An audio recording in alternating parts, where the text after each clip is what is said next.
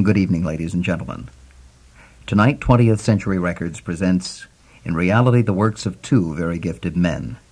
And perhaps we are beginning a new era, or at least a new dimension in the world of recorded music.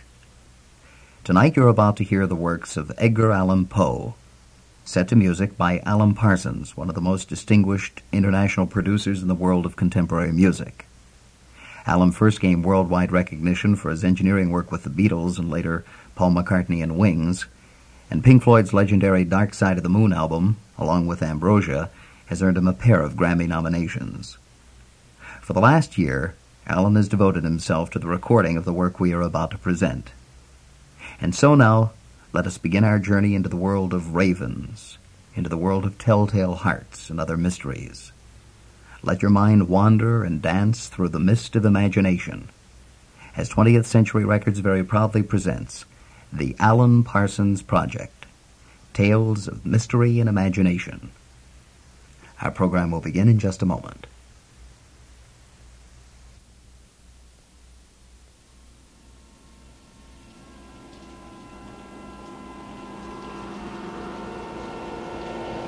And now, the Alan Parsons Project Tales of Mystery and Imagination. Ladies and gentlemen, Edgar Allan Poe.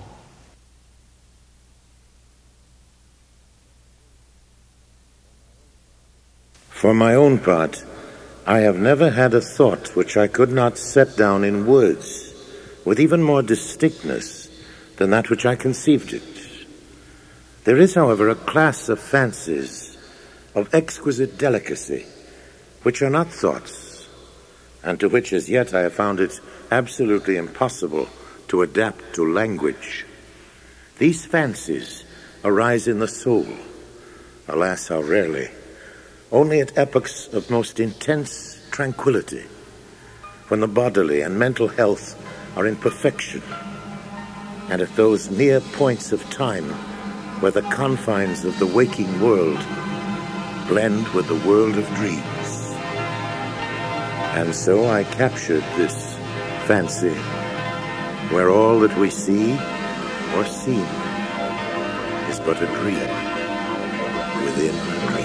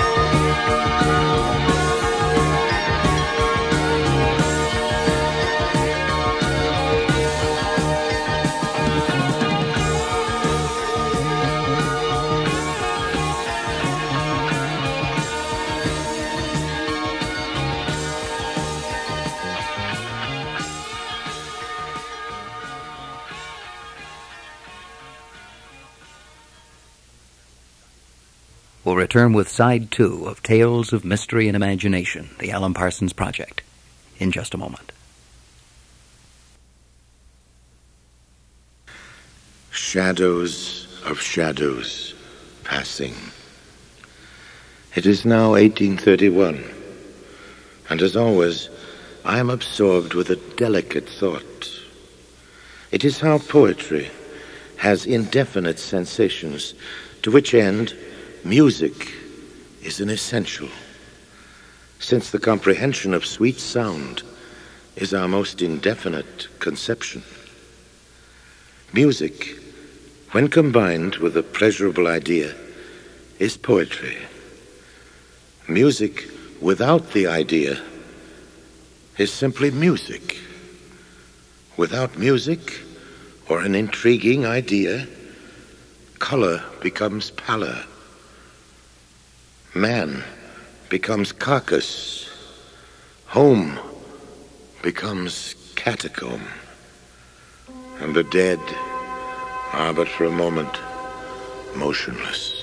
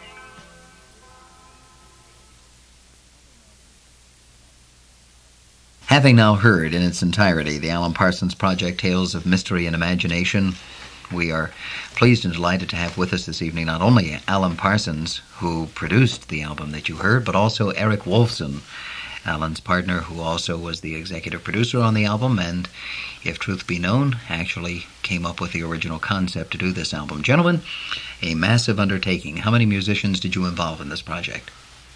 Uh, it must have been between 200 and 300 people altogether, which, uh, as you can probably imagine, adds up to a lot of bucks. But uh, I mean, when you consider the, um, you know, the, the budgets for films these days, it, it, it appears as a, as a tiny portion of that. Amongst those two or three hundred musicians, are there any names that we will recognize? Uh, yes, certainly. Uh, the backing tracks were recorded by Pilot, who are a well-known group both sides of the Atlantic, and Ambrosia, who also will be well-known mainly in this country. The vocals were done by Terry Sylvester, who is one of the Hollies, uh, John Miles, who is uh, another English artist, and uh, Arthur Brown, who will be well known to most people for his rendering of Fire, which was a hit single with just about every country in the world. and also, of course, more recently on the Tommy album. How did all of these musicians react when you brought them into the studio? How did they react to the idea behind the project? Well, in fact, they didn't know that they were working on, a, on an album about Edgar Allan Poe. In fact, the whole thing was kept a closely guarded secret. We gave each each title a, a mock name. For instance, the uh, the Fall of the House of Usher was known for the studio purposes as From Usher with Love, and uh, see the uh, the Cask of Amontillado we uh, titled Bristol Cream. you know, that, that gives you an idea. It was just the first idea that came into our head, just to keep the whole thing a secret. I think uh, Arthur Brown had a an inkling of what was happening um, because uh, you know the lyrics alone were enough to give it away. But uh, he he was when he first came into the studio, he was very subdued, and uh, you know we ran through it, uh, and he sort of you know he was humming the tune, this and that and the other, and then when he went into the studio, the the whole sort of thing changed. He started leaping around, yelling and screaming, which was which was just the job for the for the Telltale Heart on, on the album. As only Arthur Brown can, indeed. You should have seen him lying alone in helpless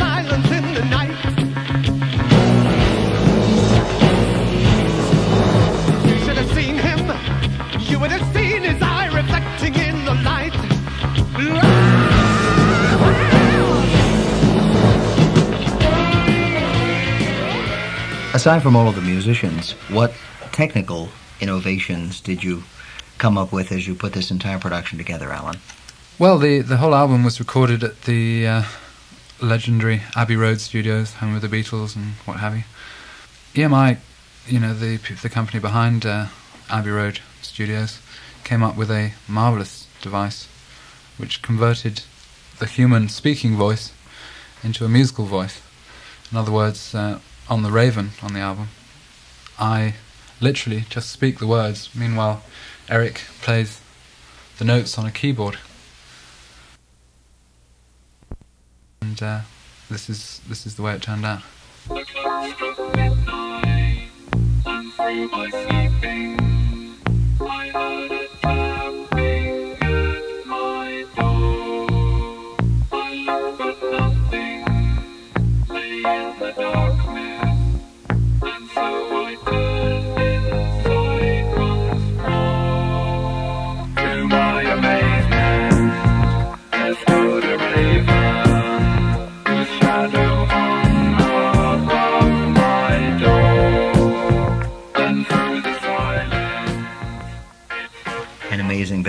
Technical mayhem.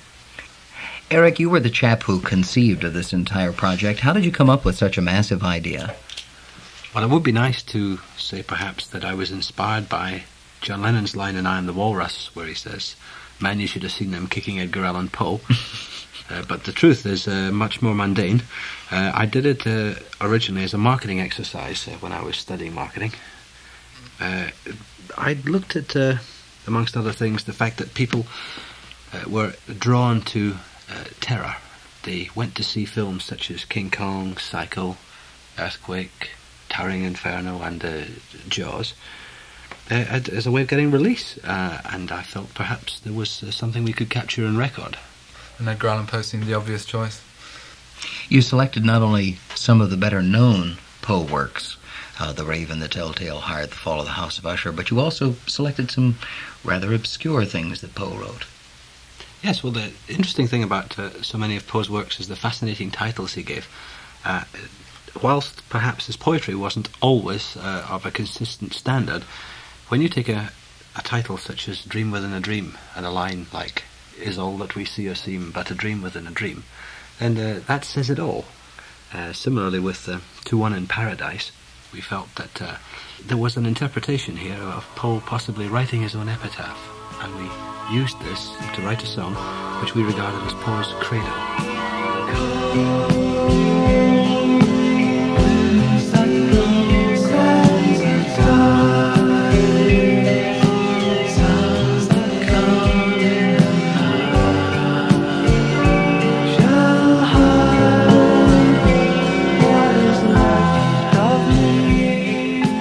How long did it take you from the time that this was a marketing concept in college to the time that you completed it. What was the timetable on this, Alan?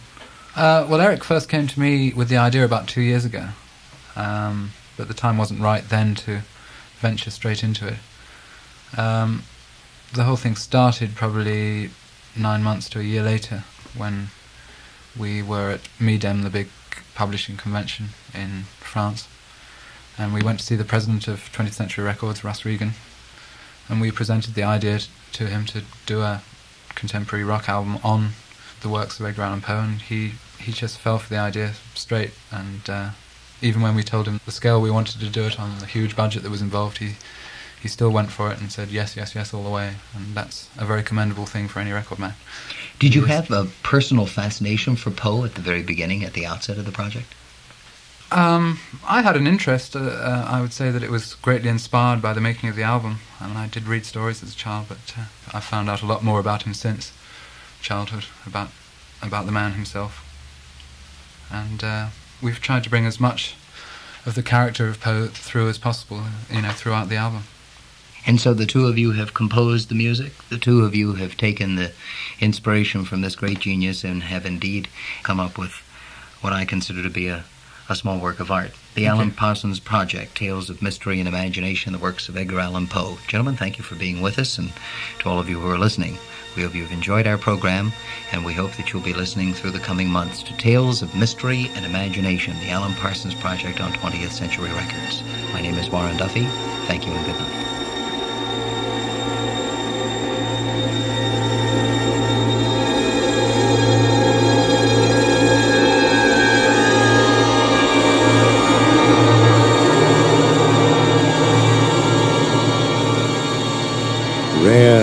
The points of time where the confines of the waking world blend with a world of dreams. I had met such moments in time where I found that every thought that passed through my mind I could set down in words with even more distinctness than that which I conceived it.